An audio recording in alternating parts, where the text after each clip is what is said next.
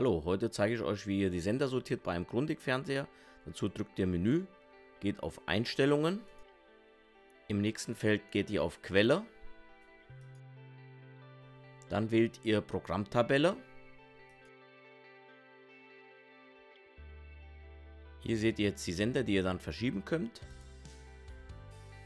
Hier wähle ich zum Beispiel RTL 2 aus, wähle mit der grünen Taste auf Verschieben, gehe dann auf meinen gewählten Platz, zum Beispiel hier auf die 3 und bestätige das mit OK.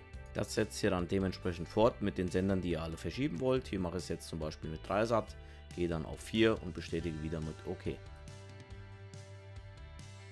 Was immer wieder wichtig ist, ist, dass ihr die grüne Taste drücken müsst, um die Sender zu verschieben. Ich hoffe, ich konnte euch helfen. Wenn es euch gefallen hat, dann gebt mir einen Daumen hoch und abonniert bitte meinen Kanal. Danke.